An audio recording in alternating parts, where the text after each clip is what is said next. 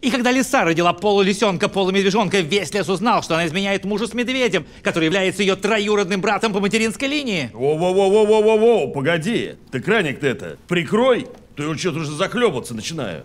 Это как мы так далеко от Колобка ушли? Просто ослепленные проблемами колобка мы не заметили, какое количество проблем в лесу. А они есть. Зайчихи бесконтрольно рожают свое потомство, не задумываясь, что будут есть их дети во время кризиса. Ежи питаются на помойках и считают это нормальным. Стоп, стоп, стоп, тихо! Вообще-то мы говорили, что это сказка для детей. Конечно, и все закончится хорошо. Для всех? Кроме лося. У него сейчас проблема, он в стационаре, и ему требуется дорогостоящее лечение на коленном суставе. Его семья не может это позволить, поэтому требуется сбор средств. Слышь, фантазер сказочный, давай театр в сумку и домой.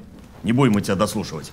Вы уверены? Тогда вы не узнаете, что прятал детка от бабки по сусекам, все ли в порядке с психическим здоровьем детки и бабки, ведь они практически пытались съесть своего ребенка, а также почему заяц после встречи с Колобком впал в депрессию и ни с кем не общается. Ну ладно, давай да рассказывай. А продолжение завтра в это же время. Не переключайтесь. Зараза.